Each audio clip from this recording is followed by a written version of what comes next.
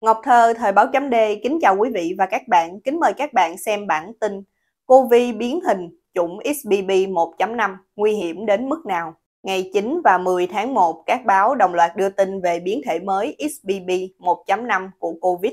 Theo đó, XBB 1.5 là biến thể phụ của Omicron và là biến thể dễ lây lan nhất hiện nay.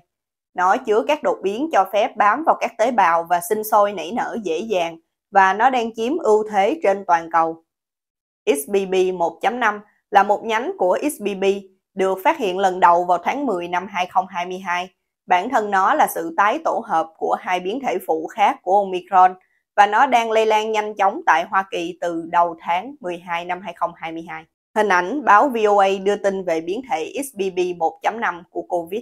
Theo WHO, hiện chưa có dữ liệu nào về mức độ nghiêm trọng hoặc tác động lâm sàng của nó, nhưng khả năng lây truyền nhanh luôn là mối quan tâm của giới y khoa và xã hội. Nhà dịch tễ học cao cấp của WHO, bà Maria Van Kerkhove, nói trong một cuộc họp báo hôm 4 tháng 1 rằng chúng tôi dự đoán sẽ có thêm các đợt lây nhiễm trên toàn thế giới, nhưng điều đó không nhất thiết là chuyển thành các đợt tử vong tiếp theo, vì các biện pháp đối phó của chúng ta vẫn tiếp tục có hiệu quả. Nghĩa là sự xuất hiện của các biến thể mới không đồng nghĩa sẽ có một cuộc khủng hoảng đại dịch mới. Theo hãng tin Reuters, các chuyên gia cho rằng các vaccine hiện tại vẫn có tác dụng bảo vệ chống lại các triệu chứng nghiêm trọng và tử vong. Tại Việt Nam, ngày 9 tháng 1 năm 2023, Thủ tướng Chính phủ vừa ban hành công điện số 05 về tăng cường công tác phòng chống dịch dịp Tết Nguyên đán và mùa lễ hội năm 2023, đặc biệt ứng phó với biến chủng XBB 1.5. Hình ảnh Thủ tướng Chính phủ gửi công điện chỉ đạo khẩn với biến thể XBB 1.5. Tuy dịch COVID-19 cơ bản đã được kiểm soát, nhưng các diễn biến bệnh vẫn khó lường, chưa ổn định. Công điện yêu cầu Bộ Y tế và các địa phương tiếp tục theo dõi, bám sát tình hình dịch bệnh, kiểm tra, giám sát, chủ động trong phòng chống dịch, kịp thời ứng phó, đánh giá tình hình để điều chỉnh các phương án, biện pháp phòng chống dịch kịp thời phù hợp, hiệu quả, bao gồm cả bệnh COVID-19 và các bệnh truyền nhiễm thường xảy ra trong mùa đông xuân. Công điện cũng yêu cầu các cơ sở kinh doanh du lịch đảm bảo an toàn cho khách và người dân, các bộ ngành đảm bảo an ninh trật tự, an toàn xã hội và lưu thông hàng hóa. Tiếp tục sử dụng các biện pháp đeo khẩu trang nơi công cộng, thường xuyên khử khuẩn, rửa tay bằng nước sát trùng. Thực hiện nghiêm tiêm chủng vaccine phòng COVID đủ liều, đúng lịch, theo khuyến cáo của ngành y tế, nhất là những người có nguy cơ mắc bệnh cao. Công điện cũng nhắc tới việc tăng cường chỉ đạo kiểm tra dịch bệnh tại các cửa khẩu, đặc biệt là những trường hợp nhập cảnh về từ các khu vực bùng phát dịch, các nơi xuất phát những biến thể mới, giám sát tại cộng đồng, tại các cơ sở khám chữa bệnh và giám sát phát hiện sớm các biến thể mới của COVID. Biến chủng mới XBB 1.5 là biến chủng được phát hiện ở Mỹ, nơi các thông tin y tế được công khai và minh bạch. Các nước khác hoàn toàn có thể tin cậy vào các thông tin mà giới chức y tế của Mỹ cung cấp. Hình ảnh Israel, vaccine tăng cường COVID giúp giảm nhập viện người trên 65 tuổi. Nhưng còn có những nguy cơ rất lớn tiềm ẩn từ người hàng xóm khổng lồ khi mà số ca tử vong của họ đang tăng cao. Mới đây, Trung Quốc đã dỡ bỏ hoàn toàn tình trạng phong tỏa và kiểm soát đại dịch tại đất nước của họ. Người Trung Quốc bắt đầu được xuất cảnh đi ra thế giới từ ngày 8 tháng 1 và thế giới đang lo ngại về một làn sóng lây lan những biến chủng mới đi theo những dòng người này. Việt Nam chắc chắn cũng là điểm đến của nhiều du khách Trung Quốc.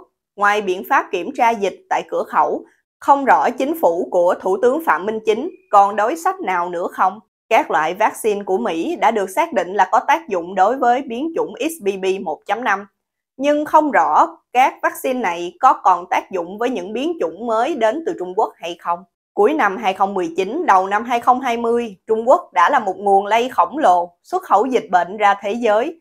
Liệu đầu năm 2023, câu chuyện này có tái diễn một lần nữa hay không?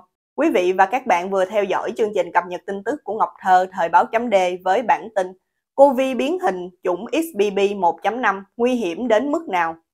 Quý vị và các bạn hãy chia sẻ video này để nhiều người cùng biết, cũng như bấm nút đăng ký kênh YouTube và Facebook của Thời báo chấm D để được cập nhật những bản tin mới nhất, nhanh nhất và trung thực nhất.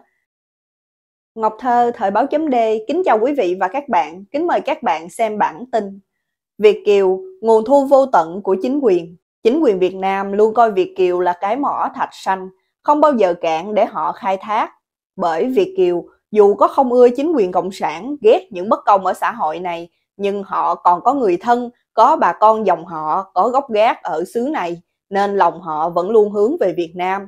Lợi dụng tình cảm của Việt Kiều dành cho quê cha đất tổ, chính quyền Cộng sản gọi họ là khúc ruột ngàn dặm để dụ dỗ họ đổ tiền về quê hương đầu tư, làm ăn, để rồi nhiều người lỡ dại nghe theo lời phủ dụ của chính quyền và lãnh trái đắng khi nhận ra đã bị chú phỉnh. Hình ảnh, bài báo đưa thông tin ông Trịnh Vĩnh Bình kiện chính phủ Việt Nam.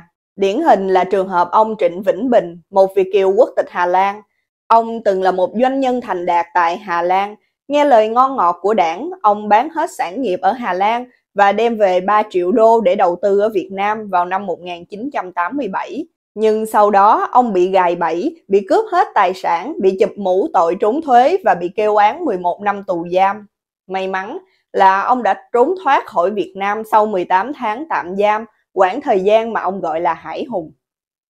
Trong lúc bị tạm giam, ông từng bị nhục hình tra tấn, ép cung.